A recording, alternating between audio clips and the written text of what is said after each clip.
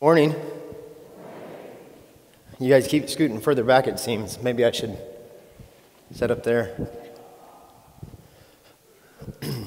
well, today's my last Sunday with you all. Um, and I want to thank you for allowing me to be here these last, these last three weeks. Um, I'm excited for you all that you have uh, an interim pastor that you've hired. I know how important that is um, when you're going through times of liminality or transition. And so I'm excited for you for that. The other great thing about that is since I'm not coming back, I can kind of say whatever I want, and there's nothing you guys can really do about it. I'm kidding. I'm not going to do that. Um, really, the, what, I'm, what I want to do today is um, to, to try to teach the book of Jonah in three weeks is really, is really too short. Um, so I kind of was, was left with one of two options, and that was to either teach the text like I have done the last two weeks, or hopefully I've given you enough about the text that you could kind of come up to your own conclusions. We're still going to read chapter four, and we'll, we'll do a little commentary on it. But what we said from the very beginning is that we're teaching the book of Jonah through the lens of parable, which is what I believe it is. Um, and what a parable does, as, as we talked about in the last couple weeks, is it's layered with meanings. It's why today we can read Jesus' parables and we can still get meaning upon meaning upon meaning upon meaning. And so, what I, what I want to do is, um, is simply go through, go, yeah, go through three to four take, takeaways, thoughts, ideas um, that, I, that I think the book of Jonah leaves us with. And it does. If you, if you read the book of Jonah, and we'll see it at the end of chapter four, it just kind of leaves us hanging. It's, it's, it's a weird ending. In fact, chapter four is almost what some, some commentators have called like a, a dark comedy, a little bit.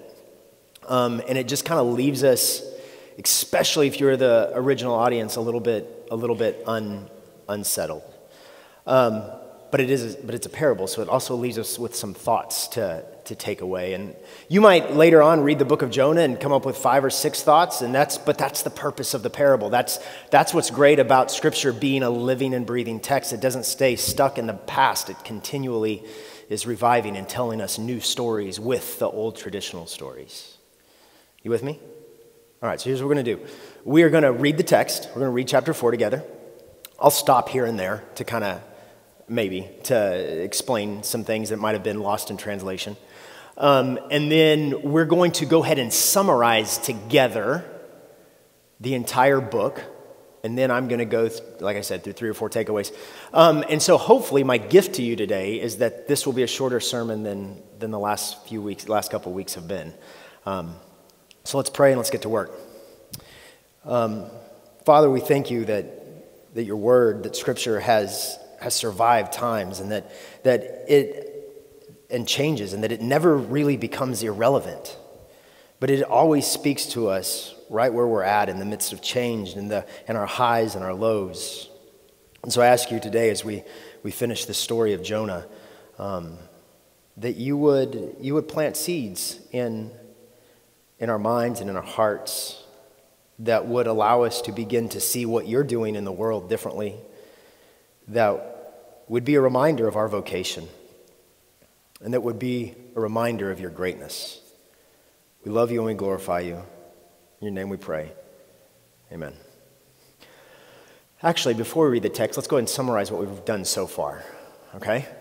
And so remember, I know this, this crowd specifically is really quiet. Choir, not so much. So, if, remember last week. So, um, if I kind of pause or ask a question, it's typically not rhetorical, right? Which means you can answer. In church, you can talk. It's okay. Okay, so the book of Jonah starts out with a prophet name. You guys are good. Thanks. See, they, that was like, that was the setup. That was an easy one, and we didn't get that. Okay, it starts up with a prophet named Jonah, and he is a prophet. We're gonna mix some, we're gonna mix some of the history we've talked about. He's a prophet to who? Northern kingdom, they're good. They listen. To the northern kingdom, because Israel has been split into two, right? And, and at the time of the story, not to who, who the book was delivered, but at the time of Jonah, um, the northern kingdom, they were experiencing financial prosperity, military might, and so on and so on. And the word of the Lord comes to Jonah, and God tells Jonah, the prophet to the northern kingdom, to go where? Nineveh. I think like getting A pluses back here. Uh, to go to Nineveh, but, but Jonah doesn't want to do that. Um, Jonah, he, he runs from God, right? Runs from God, which let us know that already the northern kingdom and their prophets had reduced the idea of God to a national deity, which created the sin of nationalism. Their nation is better than other nations. We've never heard that before, have we? And so Jonah, he goes to a boat and he takes off to Tarshish. Yeah, good. That was good. Spain. Um, I didn't see that one coming. Uh, so he takes off to Tarshish, um, and because he thinks he's running from the, the presence of God, and he is on a ship or boat uh, with, with pagans, and a storm comes up, right? And uh, the pagans, they don't know what's going on, but they're freaked out and they're scared and they start unloading the boat. And the, but the storm gets, right? The storm has been personified. Remember, we kind of talked about that a little bit. It starts getting even more wild. And so they run down to Jonah and what's going on? And Jonah finally, he confesses. He says, I've been running from God. And the only thing, way out of this is for you to toss me over. They don't really want to do that. They don't want their, his blood on their hands, but they kind of figure this is we got to do this. This is what this guy's saying, and it's apparently this guy's God that's doing this. And so they toss him over, but the pagans also do something else. Anybody remember what they do? A little more of a trick question. They repent. They repent to this, what would have been a foreign God to them. Jonah's thrown into the water, and then uh, the beast, the sea creature, swallows Jonah up, and we have in chapter 2 this long uh, psalm. The psalm of Jonah is really what it is. And he is, he is repenting and he's making all of these promises, which look like, by the time we get to the end of the book, which look like empty promises to God. And so the, the beast gets indigestion and spits Jonah back up. And then remember, last week we said what's interesting about the Jewish narratives is instead of typically in the way they told the narratives, instead of going beginning, middle, end, they go beginning, middle, new beginning. And so, unlike from what I understand, unlike any other book um, in, the, in the Old Testament, the most original text we have has a gap between chapter 2 and what we call uh, chapter 3. Now, they, would, they didn't have chapters and verses then, but there's a gap, and that gap was intentional. That gap represented we're starting over. This is the gospel area. I'm not finished with you yet, is what God is telling to the Jews. I'm not finished with you. We're going to do this again. So Jonah's, Jonah's not spit back up on Nineveh, and then he gets up covered in, you know, seaweed and, and does his thing. He's the picture we're supposed to get is he's back in he's back in the northern kingdom, kind of doing his deal, and God says, All right, we're gonna do this again. And he calls Jonah, and what does Jonah do this time? He goes, Do y'all like sit in the front of the row in school? Like the front of the class? Yeah, he goes. He goes to he goes to Nineveh this time. And um, he starts to preach this message of repentance calling these pagan people to repentance. We talked about who Nineveh was, right? They, they were the seed, the seat of the most oppressive empire that the Jews had uh, ever set under, right? And up to this point, probably that had been, been on earth. Um, so any like atrocity you can think of today that was just, I can't believe God could ever forgive that. We got to put the weight to it that it is we can apply this to the Ninevites. So Jonah goes through, um, but what we see is we see kind of a Jonah who's not interested. He says it's a three day walk, and do you guys remember how long he actually walks? One day. He goes to one, he's not even gonna go halfway through the city, and he starts to just kind of tell the story, and you have this kind of almost this organic movement. The, the story is told from Jonah, it's picked up from the people of Nineveh, and, it's, and then it, it's preached to the king, probably from the Ninevites. And what's the king's reaction? Come on, y'all. He repents, thanks. He repents, right? But, but what we saw last week is that repentance is not just a confessional, it's not just a I'm sorry, but everything changes. right? He begins to, like, he stops everything. We showed how the text even brings out he stops all commerce. He stops all economic development. He stops basically all of their systems so that they can begin to look at how the systems that have caused them to benefit are oppressing other people. And he calls the people to it. And then God, it says he relents. He, he, the actual phrase for it, which is, I think, quite fascinating, the actual Hebrew phrase is, is not that God relents, but that God repented of evil. That's, we could spend a long time on that, but we won't. Okay? And so then, now we're here at chapter 4. So let's, let's do this. So, chapter 4. But this was very displeasing to Jonah. What was very displeasing to Jonah? That they were spared, that they had the option, right? This was very displeasing to Jonah, and he became angry. He prayed to the Lord and said, O Lord, is not this what I said while I was still in my own country? This is, that is why I fled to Tarshish at the beginning. For I knew that you are a gracious God and merciful, slow to anger, and abounding in steadfast love, and ready to relent from punishing.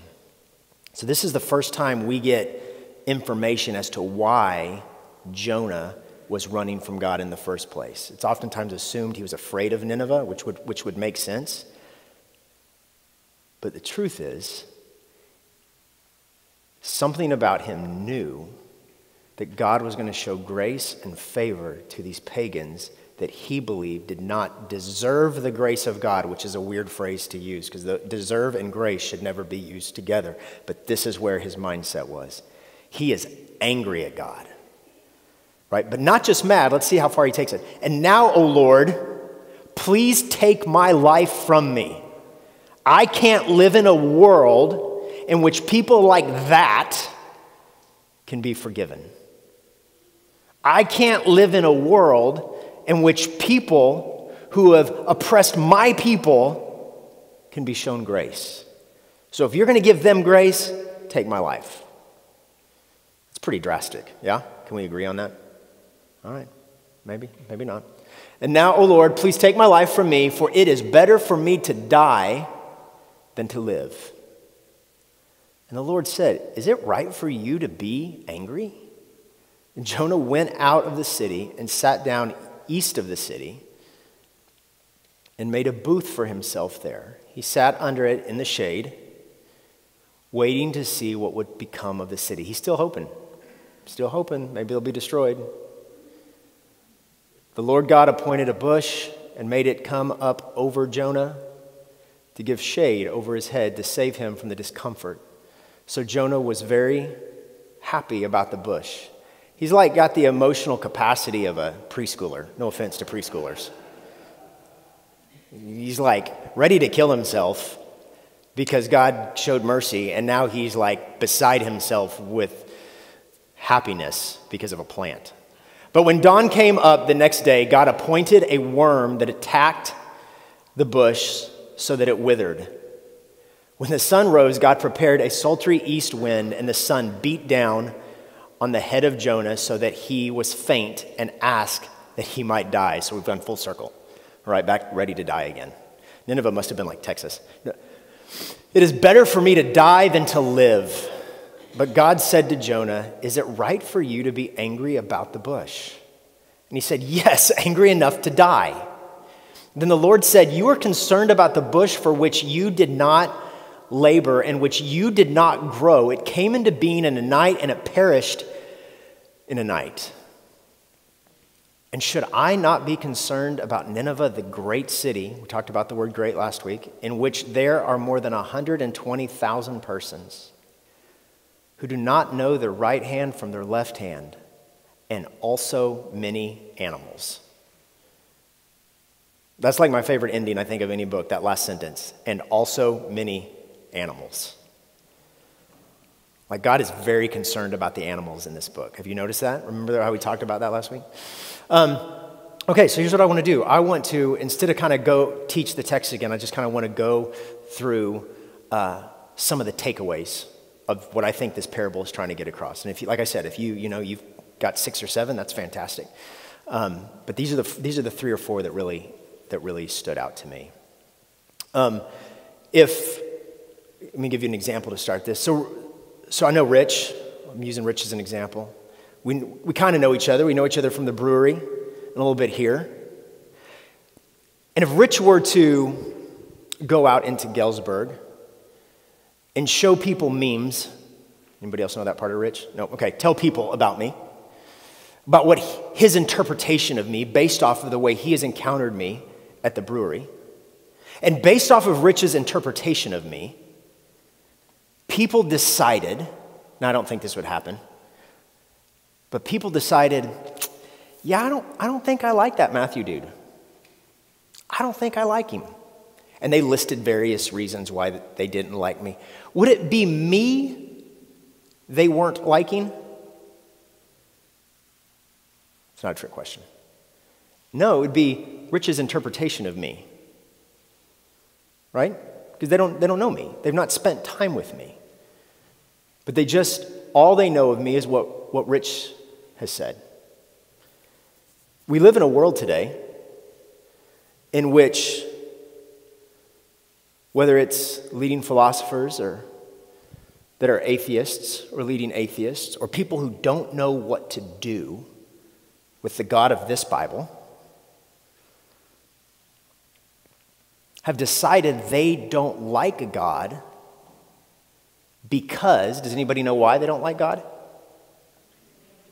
Because what?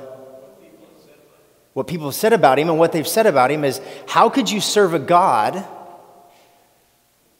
who is so vengeful? How could you serve a God who, according to Exodus, Leviticus, Numbers, Deuteronomy, Joshua, Judges, has commanded the genocide, if we can just use the word, of people? We could never serve a God like that. And yet, by the time we get to the book of Jonah, what is the reason Jonah's ready to denounce God?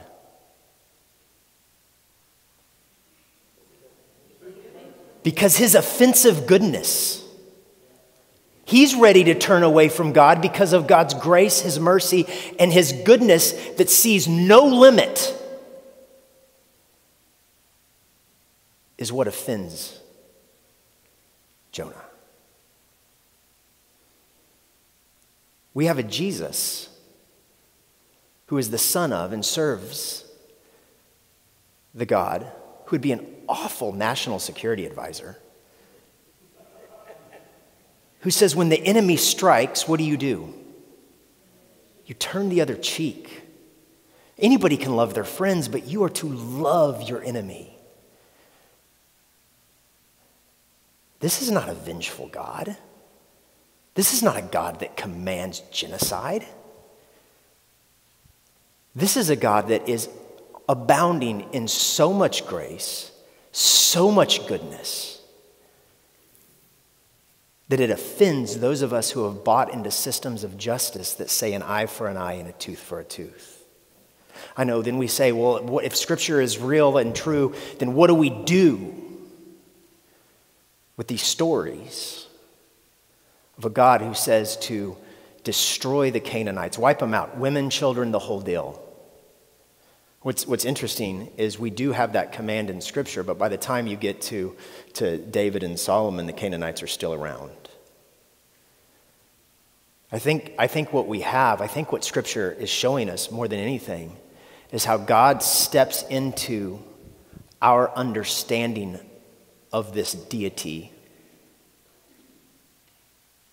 and begins to work with us right where we are. And what we have in our scriptures is an understand it starts off with a people who understood deity as a being, as a thing, as an energy that would command human sacrifice, that won its popularity through violence. But God loved the people so much that He stepped into that, knowing their understanding was so off, was so wrong. And He begins to walk with them through time until we get to the story of Jonah and we see a God who is trying to tell people, this is not who I really was, this is who you thought I was. What you need to watch out for is that my grace and my goodness can be so offensive that it might cause you to misunderstand what I'm really about. Which takes me to the next one. So, the, the first takeaway for me is the offensive goodness of God. God, through the book of Jonah, is trying to say, I'm not this God of wrath and vengeance and genocide. I'm a God whose goodness reaches far beyond your imagination. The next one would be that would, that would have stood out to the original audience is what I will call witness of the rest or witness by the rest. One of the things that God's people, whether you start from early Israel or, or, or all the way down here at the church is we've had a problem with thinking much of ourselves. With thinking that if God wants the world to know anything, they have to know it through us. Remember, we, we talked about that, how that the inclusion of God's people was not for the exclusion of the rest of the world, but for their inclusion also. The truth is, God is much bigger than the boxes that our religion has kept him in. Right? God is working in the world. So we, have like here, here's a missionary phrase that, that we used to use is that we're going to take God to another land. We can't take God to another land. God's already there. And he invites us to play. He invites us to be part of what he is already doing. And sometimes one of the most humbling things for God's people is to set back and recognize that God is already at work in the world without us. Sometimes God is witnessing to the church through the world.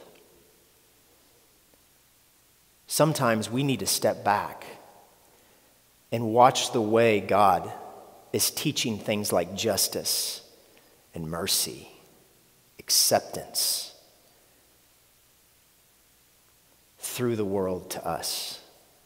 And let that be an example to us. This would have stood out maybe more than any of it. You had a pagan crew that repents. You have an oppressive pagan king who begins to disassemble his economic system because of the oppression that it was causing. God is using the pagans I don't like that word, but that's kind of how they define it. He's using the pagans as a witness to his people. This is God's call to humility. You with me? Yeah? So we have the offensive nature, the offensive goodness of God, the witness of the rest. And then last week, do you remember the term we used, universal salvation? Those of you who are here, do you remember that? And, and part of that, to understand that, we had to redefine salvation. Right? Salvation was, was never supposed to be about this thing that happens when you die that you go to a new geographical location in the sky. Right? Scripture is very vague on that. It's funny how vague Scripture is about that kind of stuff, and we've created these whole doctrines on. But universal salvation had to do with God's vision for universal shalom, peace well being, the working together of all things for the well being of all things, for all of creation. The last line in this book, and also the animals, lets us know that God is interested in something far greater and far bigger than you and I getting to some place called heaven. But God is interested in partnering with a people for the good of all creation, including the animals, the systems, the structures, the ecosystems in which his kingdom can be expressed. And oftentimes, in the way we've boxed God in, we reduce God's plan of salvation to something it was never meant to be, and God has something that is much bigger in mind. And his invitation to Israel, to us, is to allow us to be part of it, to allow us to expand this message of goodness and grace. And then the, and then the final one the final one is this and this is the one we don't really like. But it's everything has a lifespan. Everything has a lifespan. I think symbolic, and I think the Jews would have, would have gotten this, is the plant that grew up to cover him, that he found rest under. It's symbolic. Remember, do you remember the three things that we said God had gifted the Jews with? Not as an end, but as a means to an end. Do anybody remember what those three are? What? Temple? Anybody else? I got all day. Land and the Davidic king. Those were never supposed to be their identity. They were supposed to be means to help shape their identity as a people to bless the rest of the world. And because those three things were easier to manage, they turned the very things that were supposed to be a means into the end. And it made a very destructive people. We do that. We do that with our denominational titles. We do that with our doctrines. We do that with the way we structure worship services. We do that with the people that we have decided are out versus those who are in. We do that as people. But those things used to, just like the land, the temple, and the Davidic king, they, they served a purpose. But their purpose had a lifespan. When they quit serving their purpose, God no longer needed them. In Matthew 23 23, Jesus will be talking to the Pharisees, and he will, he will brag on them for their ability to tithe. He will brag on them for their worship services. He will brag on them for keeping the law. And then he will say, But all of those existed for one reason and one reason only. And that was to create a people of justice, mercy, and faithfulness. And if they're no longer doing that, they're not needed. The truth is, depending on where you fall on this issue, if you fall in the camp of the Big Bang, no matter your vantage point, from that point of singularity, the universe has been moving forward, not back. It's never been about moving back. The Jews were the first people that we know of who thought of time in a linear fashion. In other words, time was going somewhere, it was moving forward. God is not calling us back to a place. God is ahead of us, pulling us forward. And that means some of the systems and the structures, we see it happening now. We see it happening in our country. We see it happening in the church world. The church isn't dying, but our systems and structures are. And sometimes we just need to let go of those. The way we have boxed God in, they served a purpose at one time. But sometimes God comes along and he breaks those and he says, I'm moving you, I'm pulling you forward into my future to be part of my work in this new world. This is what I think the story of Jonah is about. I think it's an invitation into a new tomorrow. To remember the traditions of the past and say they were good, but God is doing something new that none of us have even dreamed of. And it will, at some times, because it's so good and so gracious, it will offend us because of the boxes we have put God in. But like between Jonah 2 and 3, he's willing to start over and over and over to allow us to be a part. Let's pray. Father, we thank you for this book. We thank you for we thank you for your grace and your goodness. We thank you that you continually are willing to slow down and pull us towards you when we want to hang out in the past. We thank you that you are continually doing what seems to us to be a new thing because you want to include all of creation. We repent of the times in which we become so exclusive. We repent of the times that our definition of your goodness for some reason includes the exclusion of others. We ask you to open our hearts and our minds to remember that you are a God of goodness for all of creation and that you have invited us to be part of that. In your name we pray. Amen.